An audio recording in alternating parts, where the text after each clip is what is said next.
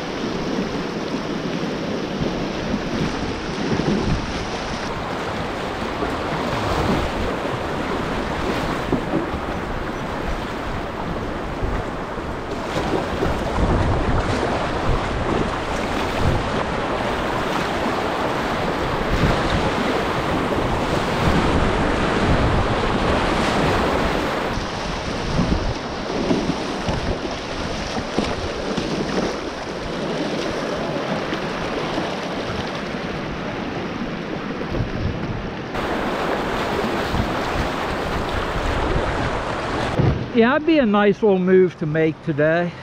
That's what I just did. Yeah. Well, oh yeah. Yeah, it's it's more extreme and it uh well it's smaller and more technical. But if you wanted to practice, you know, the boat angles and stuff to come back when it's bigger and pushier, yeah, now's a good day. Cool. Uh, Yeah, so good- turn off the camera. Great coaching. Yeah. He was going down. It was like 10 foot. Rode through uh, what is it, 100 yard dash? Yeah. there, Yeah. and uh, got through it, and it sucked him back in, flooded his boat, and the only way he was able to get out of it was to surf. 100 yard dash is way to the right of that. Yeah, but uh, Unless he cut was- out. He well, everything's underwater at that point, so he probably cut off halfway early. You know, going more towards Whitehorse. Comes back up. Because yeah, Color's hole's right next to Whitehorse. He probably yeah. he somehow probably with the high current like that. This is my second year. Oh. For the last two years, Yeah. it has been the second lowest on record, and then we've got this year.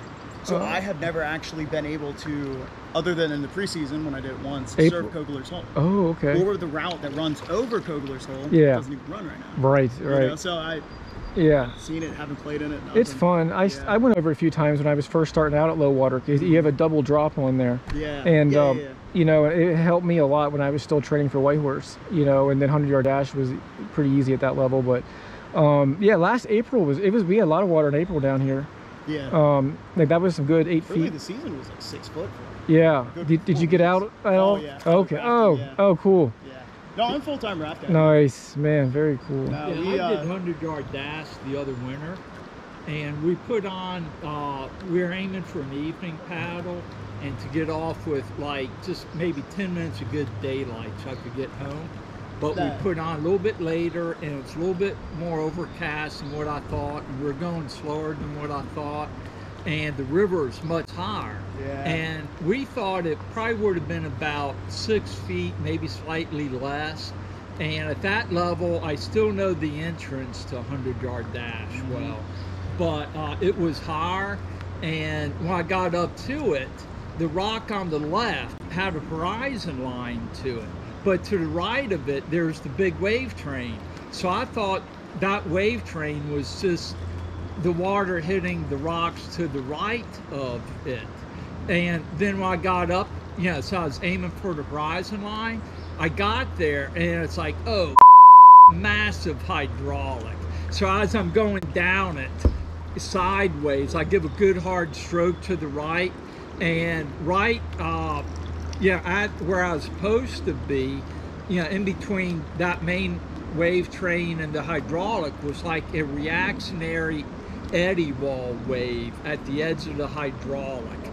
And I had to hit that so dead on. And so I was coming down sideways. I drove myself forward, so I was kind of like rotating and driving myself into it. And uh, it's like, yeah, that was close. I did it fine Yeah. but um, uh, yeah, you just uh, I just wouldn't have liked to have been in that hydraulic. Understandable.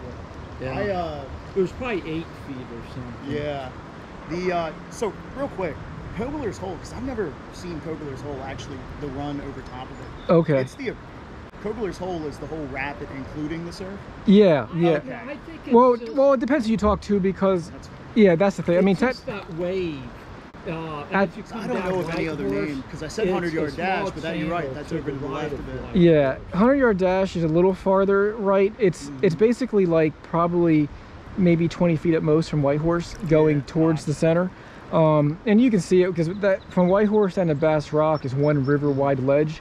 And it's the remainder of the first part of the Potomac Water Gap between Blue Ridge Mountain, you know, we're going through there. And the second one's down there at Weaverton. But anyways, you can see Whitehorse is like the most intense, like the most gradients right there. And then as you go, that Colliers Hole is a little less, um, and then less with 100 yard dash, um, because it slants down a little bit. But as the waves, as the water picks up, 100 yard dash actually picks up to where it can be higher than Whitehorse at like huge water.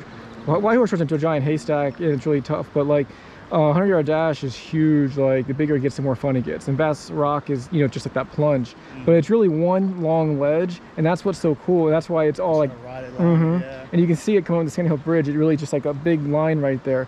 That's but awesome. but Hole, you'll see a lot of the rafts I've seen. They as they surf there. Like you see them, they pull up right there close to Whitehorse, and they dip the front down. The kids start having a good time, laughing and stuff, you know, because it, it's so it sinks it in. They just then they push out. But yeah, like you, I ran it real low because he hit both drops that way. But then when it's really in play, then it really is one continuous kind of. You don't feel the second, the first kind of drop. It's just like a lot of water. You get that huge plunge Yeah. where it's just recirculating over and over.